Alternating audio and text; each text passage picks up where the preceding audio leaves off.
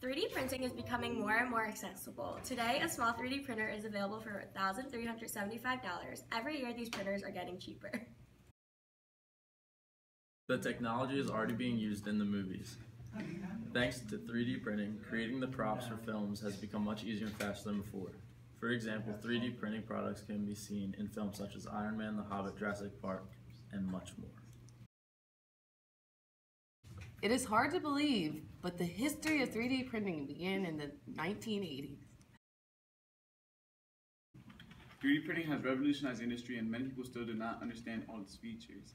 This technology will change everything. You will have to spend a lot of effort and money what you want, and it will be enough just to press the button. With the help of 3D printing, uh, products will be uh, cheaper now to make, and uh, the technology will, will be improving. But like before, now we were able to send people to the moon uh, with people. Now we can send it by robots. 3D printing is used to create unusual weapons. Experts say that it's possible to create so tiny weapons with the help of a 3D printer that it will be very difficult to, de- to, to, detect, to detect them. Any house can turn into a factory. Everything that used to be done only in factories now could be accomplished right at home. Toys, guitars, ceramics, bicycles, etc. NASA will use the lunar dust to print a base on the moon. The same technology is already used for the astronauts to repair or create a duplicate of the broken equipment.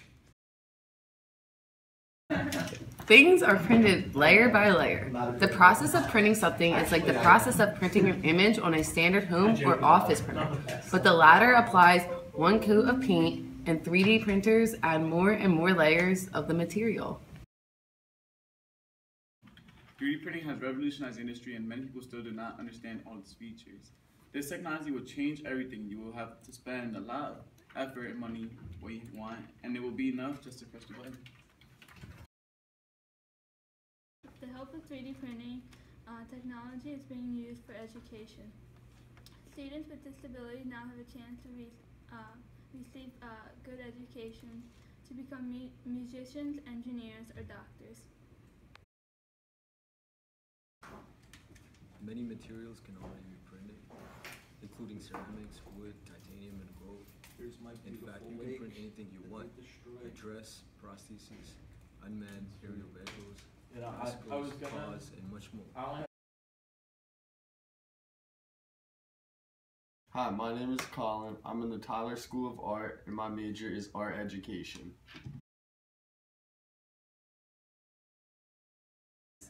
In one of my classes last semester at Tyler, I printed out some pendants and bracelets.